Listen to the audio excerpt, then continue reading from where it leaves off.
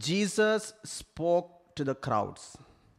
I tell you solemnly, of all the children born of women, a greater than John the Baptist has never been seen.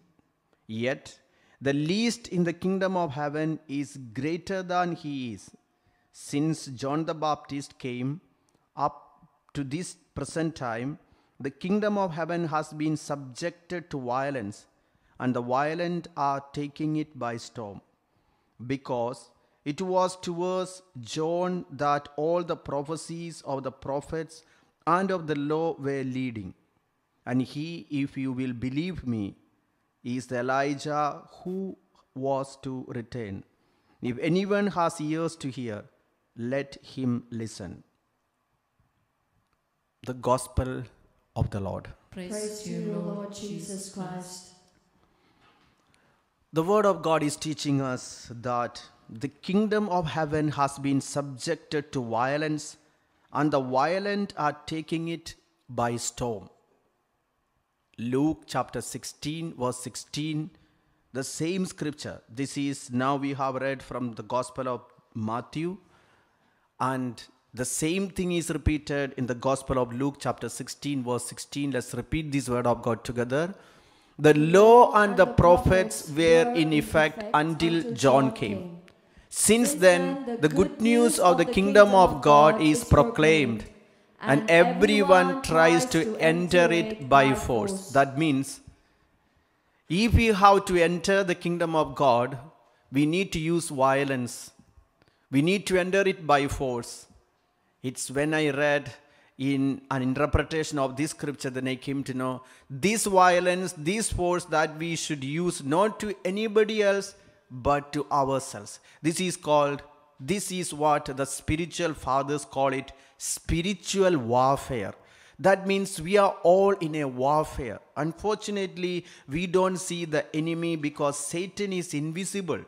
And we should know he is the second most powerful because he is a fallen angel after God. So if we don't know what are his deceptions, we'll also be into trouble. That's why we need to prepare ourselves for a spiritual battle, and this battle is a daily battle, it's a daily struggle to fight against the wiles of the devil. That's why St. Paul clearly said this is Ephesians chapter 6 from 12 we read. St. Paul is teaching us that we need to put up the whole armor of God. Why? Because for our struggle is not against enemies of blood and flesh, but against the rulers, against the authorities, against the cosmic powers of this present darkness, against the spiritual forces of evil in the heavenly places. These are the spiritual forces of evil where we can never see the evil one with our naked eye. That's why we should know the tricks and the deceptions of the evil one. Again, Saint Paul, Saint Peter is teaching 1 Peter chapter 5 verse 8. 1 Peter 5 8. Saint Paul is teaching 1 Peter 5 8. Chapter 5 verse 8. Discipline yourselves, keep alert like a roaring lion, your adversary, the devil, prowls around looking for someone to devour. See, every day after the Holy Mass, we pray the prayer to Saint Michael. And what, what is the content of this prayer? Uh, cast into hell Satan, who prowls around to devour us. That means we should agree this is a reality that Satan is a being and he is not just an idea or something that is an absence he is a being and he is the one behind many things and i'm just going to explain seven ways that devil is trying to destroy us and deceive us once again and we have already seen previously through the word of god how he is going to deceive us and now this is also another way to know how to overcome this spiritual battle. This is to prepare ourselves for a spiritual warfare. The first method that devil uses to, dist- to distract us, to keep us away from God, is discouragement. That he will always put us down, reminding us of past sins. He will remind us the guilt. That's the way he will bind us. then immediately you feel, no, you are not worthy. You cannot do it. You have done something in the past. See, this is the way the devil tried to accuse Moses, making him incapable, telling him you are a murderer, you are not good, you cannot go back to that country, discouraging. That's why we read what does and to how to overcome the deceptions to know what God says. The devil says exactly opposite to what God says. If God is love, Satan is hatred. And that's the way he works. So, what does God says? Is he discouraging us or is he encouraging us? Let's read. This is Isaiah 43, 18 and 19. The, the Lord is telling, Do not remember the former things or consider the things of old. I am about to do a new thing. Now it springs forth. Do you not perceive it? I will make a way in the wilderness and rivers in the desert. The Lord is promising that we should not remember the former things. Isaiah 43, 18 and 19. Do not remember. Let's repeat this word of God together. Do not remember the former things or consider the things of old. Verse 19. I am about to do a new thing. Now it springs forth. Do you not perceive it? I will make a way in the wilderness and rivers in the desert. Now, if somebody is reminding you of the things that is happened some years back, maybe an abortion, maybe a murder, maybe a kind of a divorce or separation, maybe some failures, maybe some kind of sins that happened. But sisters and brothers, is the devil who will discourage you, who will say you are not worthy. Remember Though Moses was a murderer, God still chose him. Though David committed adultery, idolatry, and even murder, God did not cast him off. But what does devil say? You are good for nothing because you have already failed. You are a failed person. So we should look at God who does new things. Again, this is now in the book of Revelation, chapter 21, 5 and 6. Revelation 21, 5 and 6. And the one who was seated on the throne said, See, I am making all things new. And he said, Write these, for these words are trustworthy and true. Then he said to me, It is done. I am the Alpha and the Omega, the beginning and the end. To the thirsty, I will give water as a gift from the spring of the water of life. The Lord is telling. You don't want to be afraid or discouraged about the things that happened in the past. I'm doing something new. Put your trust in me. Again, this is Ezekiel chapter 32, 13 and 14. Ezekiel 32, 13 and 14. The Lord is reminding us I will destroy all its livestock from beside abundant waters, and no human foot shall trouble them anymore, nor shall the hoofs of cattle trouble them. Then I will make their waters clear and cause their streams to run like oil, says the Lord God. That means when your life is flowing, there will be events that devil will remind you events of the past maybe a failed relationship of the past maybe a broken relationship maybe something you had fallen into maybe a sexual sin and the lord is telling when you come to me i will remove all these things then I will make their waters clear. I will make sure your mind is getting once again clear and you will be able to follow me. Again, this is now Ezekiel 28 24. Ezekiel chapter 28, verse 24. The Lord is telling us, The house of Israel, together with me, the house of Israel shall no longer find a pricking briar or a piercing thorn among all their neighbors who have treated them with contempt and they shall know that I am the Lord God. Remember what does God does? He is helping you to get rid of the pricking words uttered by maybe your own life partner, your neighbor, your parents, your grandparents, your teachers, anything that has hurt you, those who treated you with contempt. What does the Lord is telling? He is letting you to come out of it. That's why we have a, a song that goes, letting go, letting go. Lord, I surrender and I let everything that of my past go. But the devil, in his deception, he will keep on reminding you, you're not worthy. I know your background. I know your history. I know from where you are coming. You cannot achieve it. You, God cannot forgive you. See, this is a deception. Because God, the book of the Bible is all about forgiveness of God. Isaiah 55 7 we read, What is the character and the nature of the Lord? Let the wicked forsake their way and the unrighteous their thoughts. Let them return to the Lord that he may have mercy on them and to our God, for he will abundantly pardon. What does devil will say? God will not forgive you. You, you, you cannot have a future because you have committed such huge crimes. Sisters and brothers, prodigal son destroyed everything. God forgave him. The adulterous woman committed adultery. God forgave her. The Samaritan woman had five husbands and even still she was living with a sixth one. God forgave her. David was a murderer. God forgave him. Abraham was a liar. God forgave him. Uh, Jacob was a cheater, deceiver. He deceived his own brother. God forgave him. Then what about you?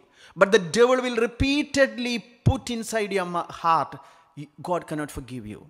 You cannot come back to your life because you have failed God.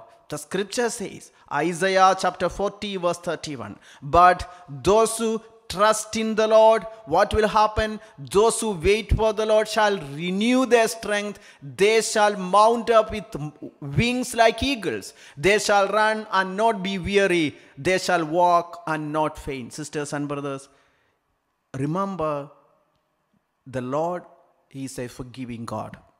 So he will never discourage you. So one of the deceptions of the evil one is that he will continue to remind you of the past sins. Isaiah 43 25, the Lord said, I, I, I am he. You can repeat with me. I, I am he who blots out your transgressions for my own sake, and I will not remember your sins. Jeremiah 31 34. These are the things the Lord said. Satan will say just the opposite. The Egyptians, uh, I, I, Jeremiah chapter 31, verse 34. Jeremiah 31 34. No longer shall they teach one another or say to each other, Know the Lord, for they shall know me. From the least of them to the greatest, says the Lord. For I will forgive the iniquity and remember their sin no more. Do you want to believe what the devil says or what your God says? He is telling, I will never remember your sins anymore and I will forgive your iniquity. If anybody is discouraged, feeling, no, I cannot have another chance because I have committed terrible sins. I have been into repeated adultery, alcoholism, watching filthy things, into gambling. I don't think there is a point of return. This is devil's discouragement. Jeremiah chapter 33 verse 8. These are all God's word. So you have to put your fill your heart and mind with what your creator says. I will cleanse them from all the guilt of their sin against me and I will forgive all the guilt of their sin and rebellion against me. Even me, as I preach, I know I was forgiven and I am forgiven. Every day I ask for forgiveness. So if God treats me about the things I have done in the past, if I am keep on pondering about my failures, I cannot be God's servant. Zechariah chapter 10 verse 6. Not what's God's character. He not just forgives you, but he treats you as if you have never failed him. Let's repeat this word of God. I will strengthen the house of Judah and I will save the house of Joseph. I will bring them back because I have compassion on them and they shall be as though I had not rejected them. For I am the Lord their God and I will answer them. I have compassion on them, and they shall be as though I had not rejected them. I do remember after one of the youth retreats, a girl came and she said, Father, I desire to be a nun, but my problem is I have already messed up my life. I did so many terrible sins in my life, so I don't think I am worthy. What is your opinion? What do you say? Will God accept me? I said, Of course. Because God never calls people who are qualified, He calls them and qualifies them. It's not, look at those whom God chose. Are they perfect people? Your sins, your failures, your terrible background is not a problem. Actually, that is the qualification for God to call you because He always calls. Like Matthew, who was he? Tax collector, outcast, the one who was rejected by the society, who was Samaritan woman whom he called to be his servant, his apostle. Look at all those whom he chose. They were not perfect people. Jacob is least worthy to be called as God of, and God himself is called God of Jacob. Who was he? His name itself symbolizes a cheater, a deceiver. So don't look at your past. Your past makes you to rely totally upon your God. This is what book of Job chapter 22 verse 30 because he heals you you the guilty. He will deliver even those who are guilty. They will escape because of the cleanness of your hands. It's God's sanctity that qualifies you. It's God's holiness that qualifies you, not your own merit. So when you are a sinner, when you are failed, you don't rely on yourself. Sisters and brothers, one of the things that devil uses to discourage, to put you into trouble is discouragement, reminding you about your inadequacy, your, fail, your failures, and what has happened in the past. God never looks into that. Maybe there are some, I know they are not uh, uh, confident to enter into ma- marital life because they are holding on to brooding on their past.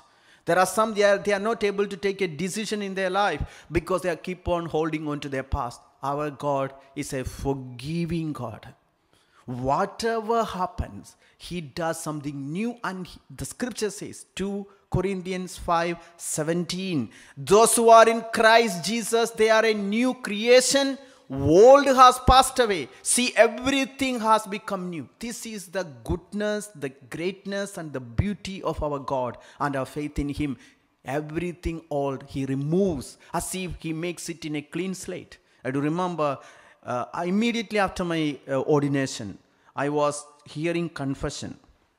So after this confession i had a vision that i could see a slate.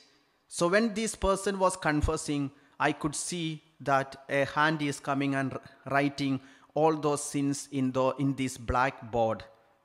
And when I gave absolution in the name of the Father and of the Son and the Holy Spirit, your sins are forgiven, I could see that same hand is coming and removing from the clean the slate, making it clean as if no sin is visible. Even nobody can remember. Even I can't remember. Even he can't remember. And he said that day, the moment a person confesses, I cleanse his life as I clean a slate, nothing is remembered, even by the Almighty God. Then, how much more? That's why Romans 8 1 we read, Those who are in Christ Jesus, there is no condemnation at all. There is therefore no condemnation. Sisters and brothers, put this into your heart. There is hope because we have a God who never discourage you, who will never disappoint you, who will never accuse you, who will never question your integrity of your past. He's a God of the present. That's why our God's name is He's the God of the present, not of the past. He never treats you in accordance with your past.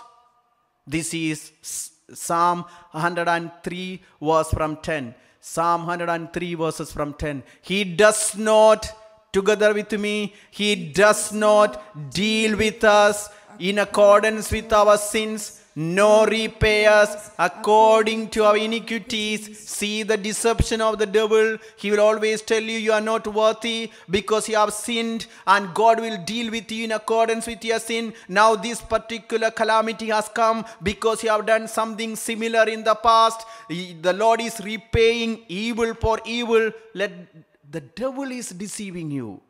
God will never repay you in accordance with iniquity. This is word of God. Put this truth inside you. Everything that the devil says is a lie. He what does he say? God cannot forgive you. That's why many are living in the shame of guilt, in the shame of their past sins, but God never treats you. Even we all have, even me, I have a stinging past. But God forgave me. God has closed that chapter. That's why I stand here as a priest. Then the second uh, area where devil is deceiving us, he will cause doubt in us. He will cause doubt.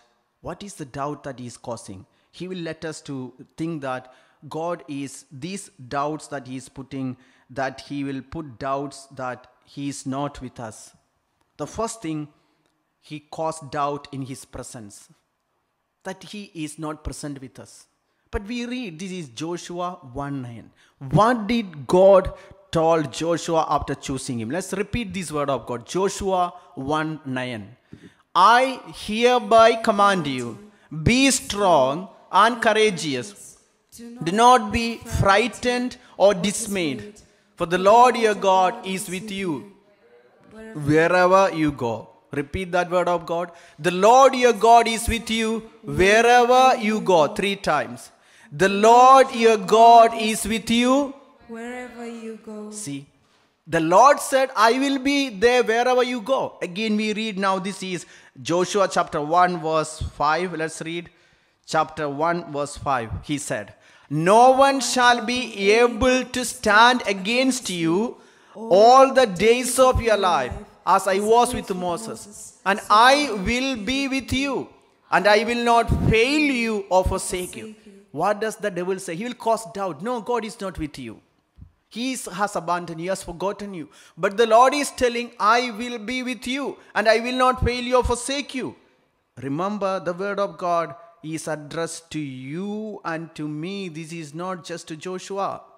Again, let us read now. This is Deuteronomy chapter 31, verse 8 there are five doubts that devil is creating. Doubt. One is about god's presence. Second one is god about god's promises. The third one is about god's plan. The fourth one is about god's power. And the fifth one is about god's provisions. The first one is what i'm telling is god's presence devil is causing doubt in us that god is not present he's not with you he has abandoned you. But the scripture says it is the lord who goes before you.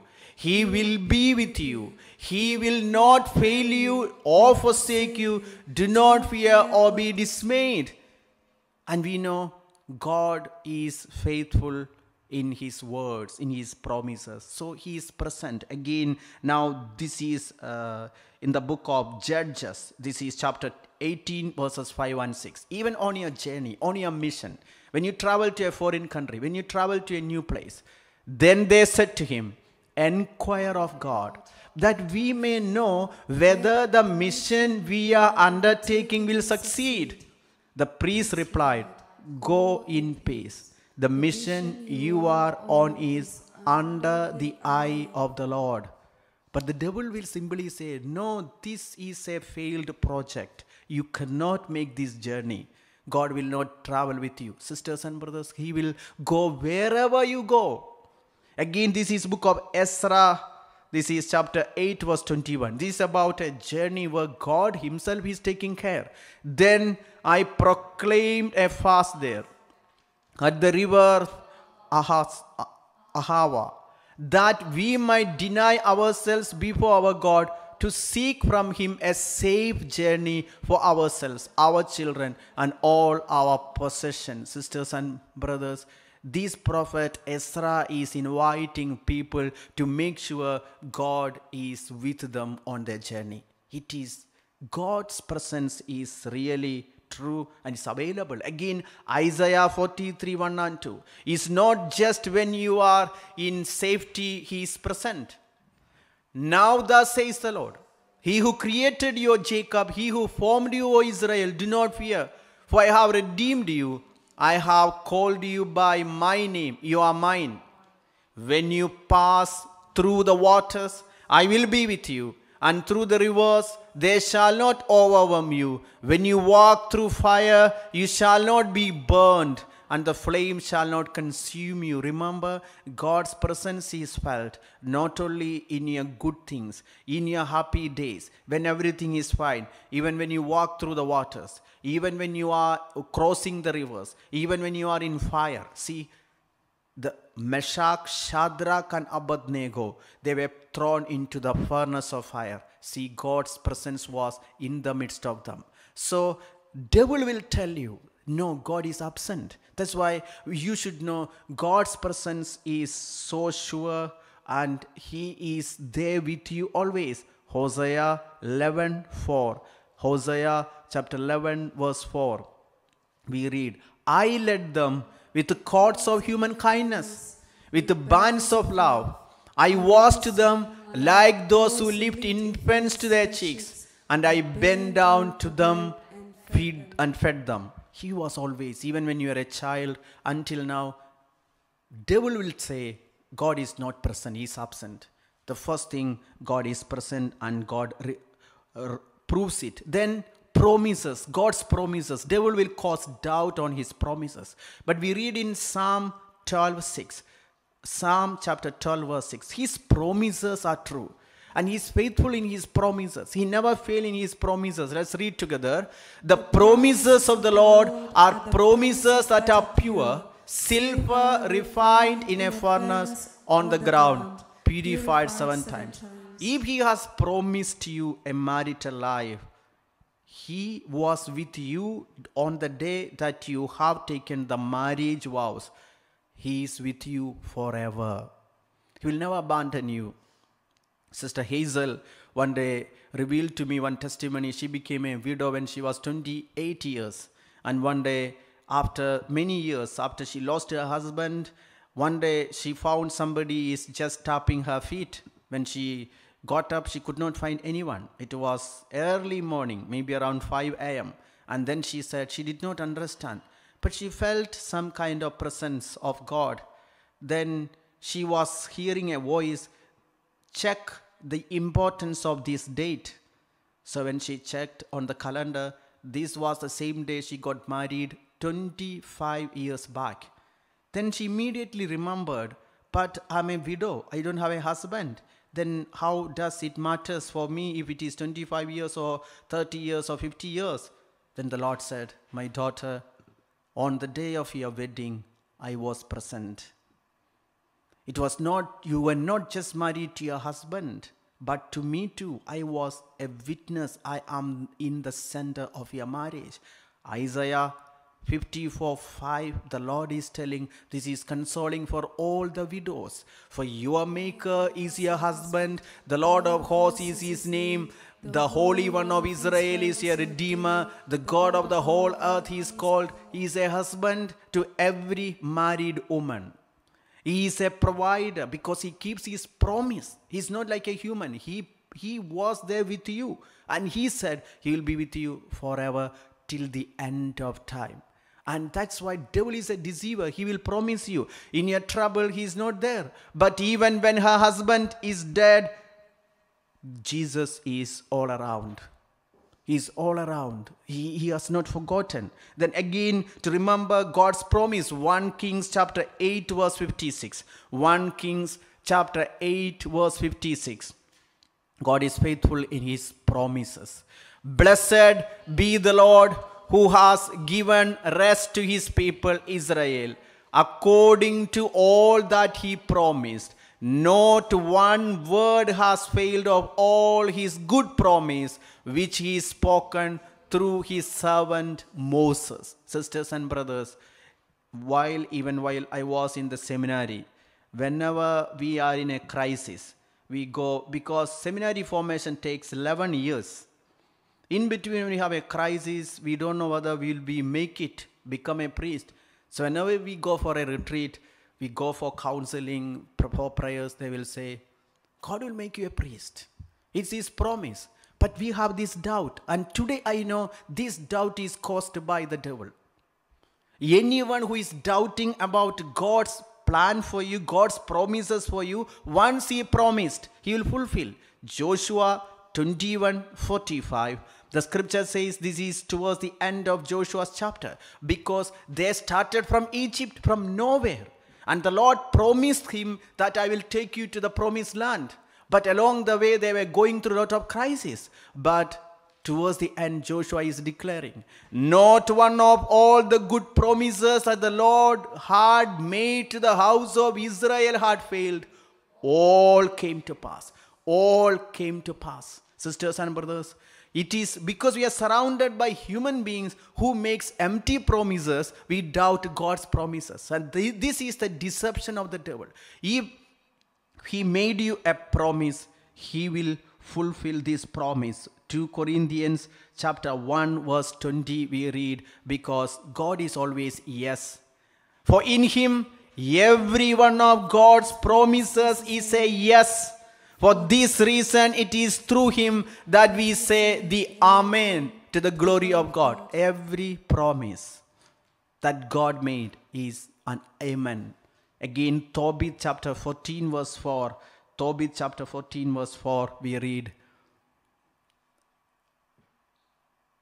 It is about uh, the same thing that everything that the Lord has promised through the prophets that it has taken place. None of all their words will fail, but all will come true. None of all the promises that the prophets made will come true. This is what God is telling us. It is about the promises again. Then God creates doubt about his plan. Means uh, devil causes doubt about God's plan. He will just say God has no plan. We read in Jeremiah chapter 29, verse 11. This is one of the most important and the most quoted scripture. Why? Because people always feel, no, God has no plan for me. No, I, I don't have an aim in my life. I don't know the purpose of my life.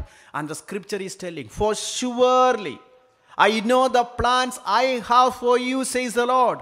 Plans for your welfare and not for harm, to give you a future with hope. But the devil will repeatedly tell you, no, God has no plan for you.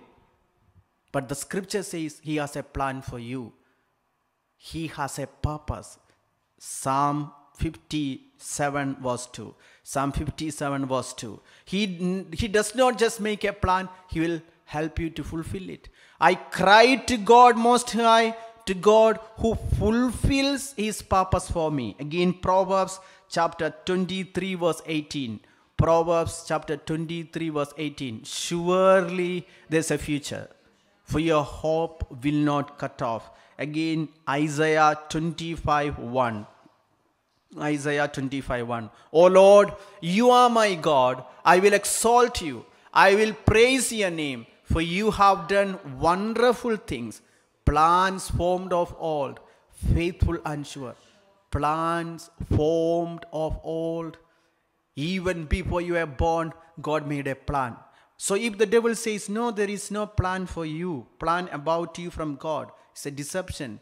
God has a plan about your life, about your children, about your children's children, about your workplace, about your job, about your studies, about your future, about your transfer, about your future destination, about your visa, your PR, your citizenship he has a plan. He has, but the devil will discourage you, will say, No, God has no plan. So we need to remember and believe in the plan of God. Then the other deception that the devil makes is to doubt in his about his power, God's power. We read in Jeremiah 30 to 27. Is God's power limited? See, I am the Lord, the God of all flesh. Is anything too hard for me? Is there anybody who is doubting the power of God? Let's also read now. This is Deuteronomy chapter 10 verse 14 deuteronomy chapter 10 verse 14 to remember god's power although heaven and the heavens of heavens belong to the lord your god the earth with all that is in it everything belongs to him again this is numbers chapter 11 21 on verse 21 to 23 is very important scripture. Numbers 11 from 21. Moses said, The people I am with number 600,000 on foot. And you say, I will give them meat that they may eat for a whole month. We continue. Are there enough flocks and herds to slaughter for them? Are there enough fish in the sea to catch for them?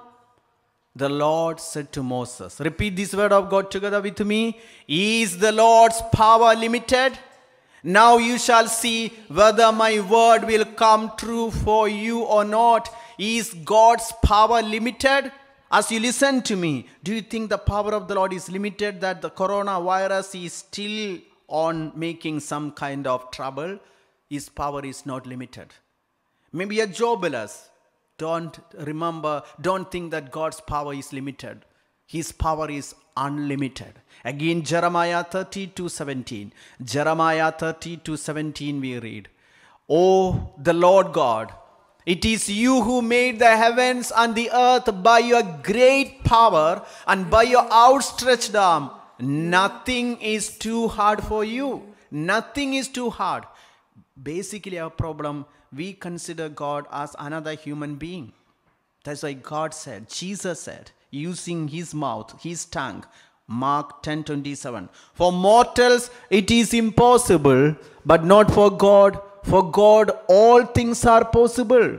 Sisters and brothers, if you repeat this word of God repeatedly, you will get out of hopelessness. You will get out of a kind of uh, despair. You will get out of depression because you have a God for Him, for His power is unlimited. Job chapter 42, verse 2. Job 42 2. The scripture says, I know that you can do all things and that no purpose of yours can be thwarted. If there is someone who can do all things, is God. And for us, it's impossible. That's why we need to believe in the power of God, unlimited power of God. Job chapter 5, verse 9, also we read Job 5 9. He does great things and unsearchable, marvelous things without number. Believe in his power. Again, then devil causes doubts in God's provisions. God's provisions. Genesis chapter 22, verse 14. The name of the Lord is revealed here like Jehovah Jireh. That means the one who provides. So Abraham called that place the Lord will provide. As it is said to this day, on the mount of the Lord it shall be provided. See, whatever you have in your life today, is basically is not your achievement. Your achievements are very little. We read in the book of Job, chapter 24, verse 13, the Lord has categorically revealed to the people of Israel there are those who rebel. Uh, sorry, Joshua 24, 13. Joshua 24, 13. Joshua 24 13. I gave you a land on which you had not labored, and towns that you had not built, and you live in them. You eat the fruit of vineyards and oliveyards that you did not plant. You did not plant, sisters and brothers. Then how can we say God did not provide? Again, in the book of John, this is chapter 4, verse 38. When he was sending the apostles to, to take the harvest, he is telling, I send you to reap for that which you did not labor. Others have labored, and you have entered into their labor. Maybe you are in a company, you are in a workplace, you are in a new apostolate. Remember, it's someone's hard work is what you are reaping. That means how much God is providing for us. His provisions are so much. He's always providing for his people. Again, this is Deuteronomy chapter 6 from 10. We read Deuteronomy 6 from 10 about God's provisions. When the Lord your God has brought you into the land that he sought to your ancestors, to Abraham, to Isaac, and to Jacob, to give you a land with fine, large cities that you did not build. Let devil does not deceive you saying god is not a provider. Then the other deception that the devil causes is division. He causes division among the people and we should know the power of unity. We read in romans chapter 12 verse 5 he will cause division. How? He will just tell that you know that he the thing that he is making that the satan's goal in the marriage if you are married, to get you think that your spouse is your enemy, not the devil. He will just put inside you, if you have a wife, your wife will think as a husband you are the enemy. The husband will think the wife is your enemy. This is the, the deception of the evil uh, that he will cause division. It is his, his strategy.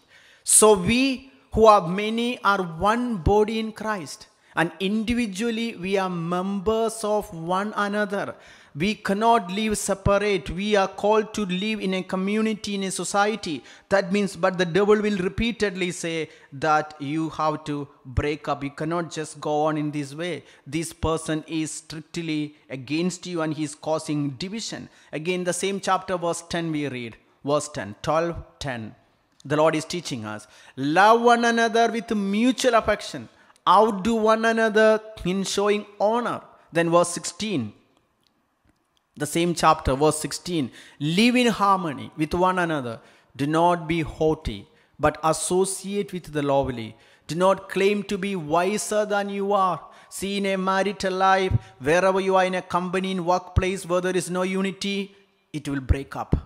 So, devil is the one behind causing division. He will divide your ideas, your relationship, and he will just cause you to think that this person this neighbor is your enemy. But actually devil is the enemy. But he will just put inside you your husband is your permanent enemy. Your wife is your enemy. That means you cannot love each other. There will be lot of misunderstanding lot of uneasiness among one another. That's why hebrews chapter 10 verse 24 hebrews chapter 10 verse 24 we read hebrews 10 24 is the importance of love. So let us consider how to provoke let us consider how to provoke one another to love and good deeds. This is the way we can build up harmony and unity. Then the other area where the devil deceive the people is causing discontentment discontentment dissatisfaction. Hebrews chapter 13 verse 5 hebrews chapter 13 verse 5 we read. Hebrews 13 5 keep your lives free from the love of money and be content with what you have. For he has said i will never leave you or forsake you. Sisters and brothers this is the area where devil is causing lot of problems in people's life.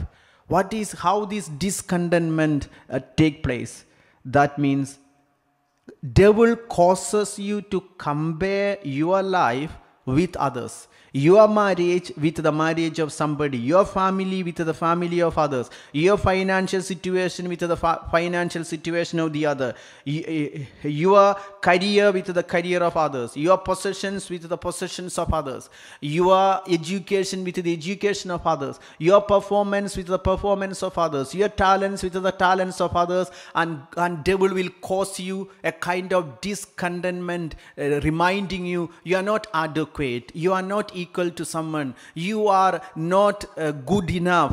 And that's the way devil will cause these kinds of trouble. That's why saint paul is teaching. This is philippians chapter 4 verse 11 why he is treated to be such a an important apostle?